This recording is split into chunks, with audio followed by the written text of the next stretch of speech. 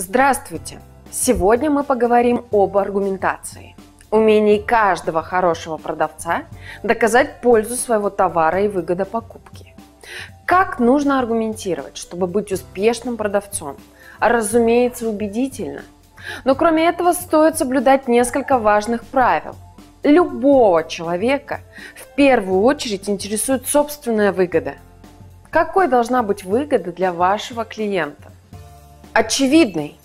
Это должно быть что-то простое, не требующее дополнительных разъяснений. Деньги, репутация, максимум клиентов. Для примера возьмем репутацию. Вы делаете отличный качественный сайт. Ваш клиент начинает вас рекомендовать. Выгода очевидна. И в данном случае это выигрыш для вашей репутации. Актуальный. То, что нужно вашему собеседнику именно сейчас, то и должно быть в вашей аргументации.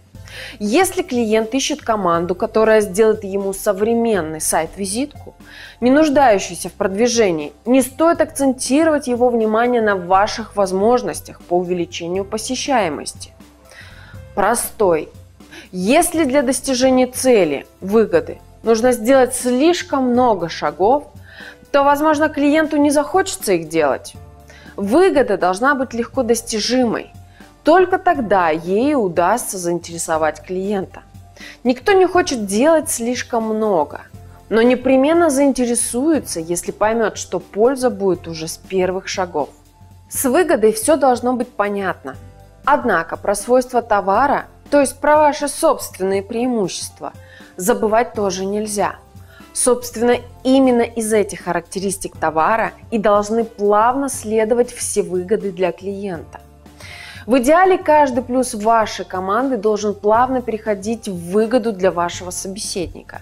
Характеристики, обыгранные таким образом, выставляют вашу команду в самом выгодном свете.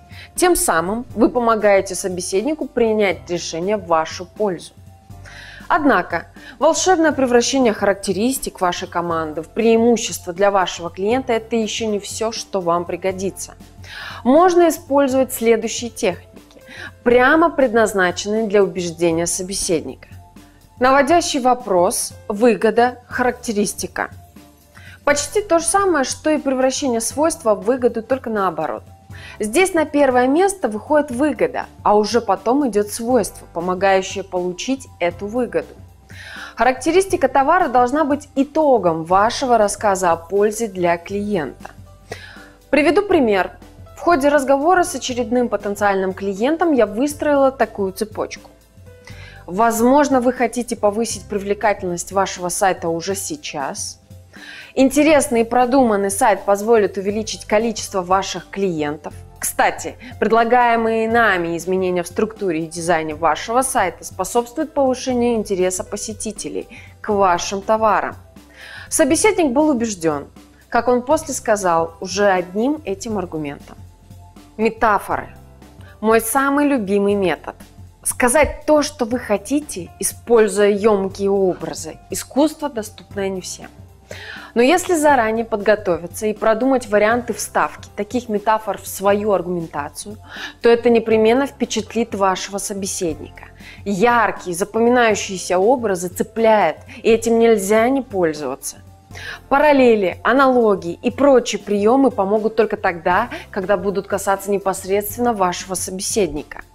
Если клиент занимается изготовлением и продажей хлеба, он может и не понять ваших примеров, связанных, допустим, с автомобильным бизнесом. Однажды я участвовала в переговорах с важным для компании клиентом, продающим автозапчасти. Мой собеседник задал вопрос, почему сайт для него мы предлагаем сделать за 150 тысяч рублей, а другая компания предложила ему свои услуги по созданию такого же сайта всего за 50 тысяч рублей. Я ответила, что запчасти для какого-нибудь бюджетного Рено стоят в 10 раз дешевле, чем для Lexus. Но хозяин Lexus не будет покупать запчасти Рено только потому, что они дешевле. Потому что он знает, что они не подойдут, так и в вашем случае. 50 тысяч, несомненно, выйдет дешевле. Но подойдет ли такой сайт вашему бизнесу? Решит ли он основные задачи? Такое сравнение убедило собеседника, что было очевидно по его реакции. Переговоры в итоге закончились вполне успешно. Рисунки на А4. Держите при себе несколько листов бумаги формата А4 и что-нибудь для рисования. Ходе беседы некоторые свои утверждения стоит подкрепить рисунками или схемами, которые вы будете создавать прямо перед собеседником. Это выглядит спонтанным шагом и впечатляет собеседников. На одной из встреч мой коллега рассказывал о преимуществах создаваемого нашей компанией сайта.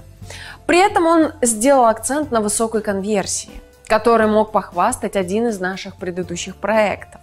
В какой-то момент своей речи коллега достал лист А4 и маркер, с помощью которого изобразил на листе схематично набросанный график сравнения посещаемости до нашего вмешательства в сайт клиента и после того, как сайт был сдан.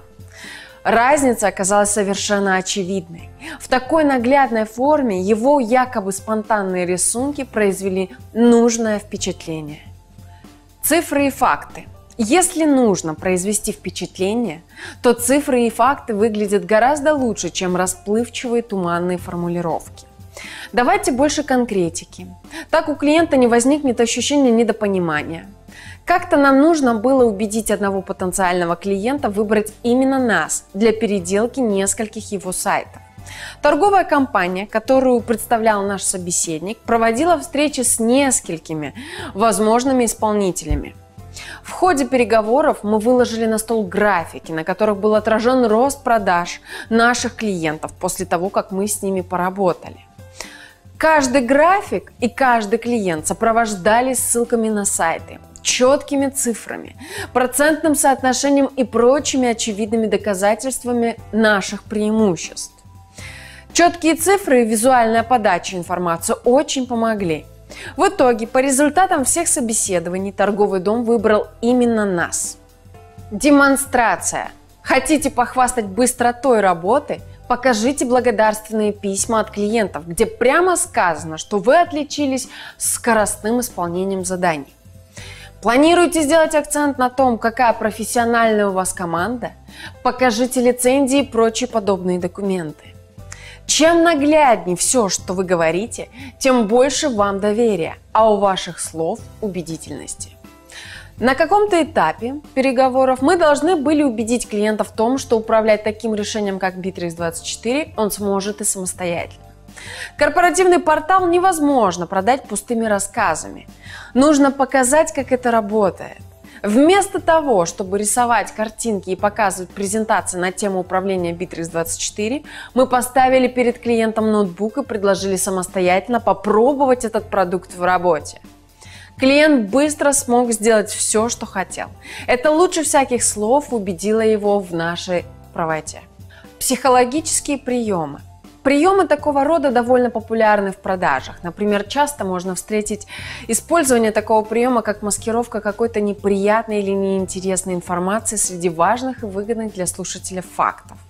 Суть в том, что лучше всего людьми воспринимается то, что сказано их собеседником в начале монолога, и то, что сказано в конце. Приведу пример. Как-то мой собеседник спросил, сколько ему будет стоить услуги нашей компании по разработке сайта.